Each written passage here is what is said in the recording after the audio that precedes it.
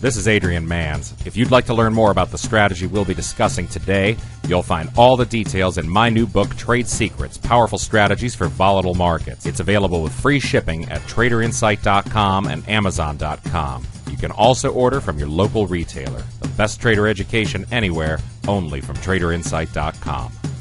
For traderinsight.com, I'm Adrian Manz, and here's your two minute strategy session. Newer subscribers of the trading service always send me emails asking about position management, and I'd like to show you just what it is that I do to figure out where to get in, where to get out, and then when to sit on my hands during the session. In this case, we're looking at a chart of GameStop. This was on the service today. We had an entry right off the opening bell, had about four or five cents of slippage. Um, getting into that, no problem. We'll take a slip all the way down to about 10 cents from the stated entry price.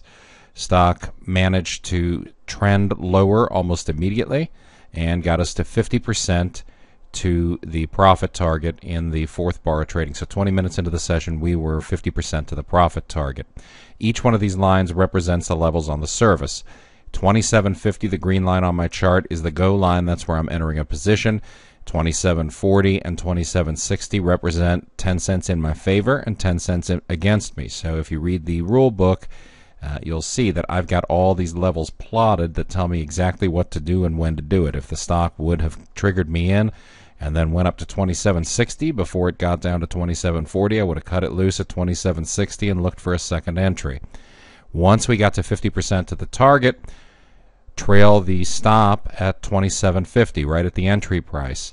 And again, if you watched the video yesterday, I use conditional orders to handle that type of thing. So once I've got a position established and it gets 50% to the profit target, I will go and enter a conditional order that says if we trade back up to $27.50, take me out of the trade. And in this case, I didn't do anything as far as the profit target because I was sitting on this one and watching it to make sure that uh, I would catch an extension if it moved lower. Now, in this case, unfortunately, we're down to 2706. I did exit this one on a reversal of two closes. We hit $27.18, trended lower, moved lower, had a, uh, a nice move all the way down to 27.03 here, but then look, we had a close of 27.07 on uh, the 1015 bar. We had a 1020 close at 27.06, and then we had a bar at 1025 that got up to. Uh, uh, 27.15 and actually took us out at about 27.11. So that's trading it by the rules according to the Around the Horn rule book that you find every night with the Around the Horn trading plan. If you have any questions, get an email over to me, Adrian at traderinsight.com. Uh, you can also ask Dave, Dave at traderinsight.com. He's very good about uh, explaining the rules to people.